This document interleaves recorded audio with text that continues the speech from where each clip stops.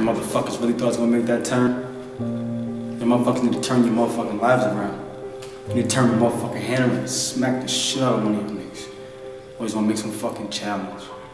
Make your own shit, man. It's the challenge.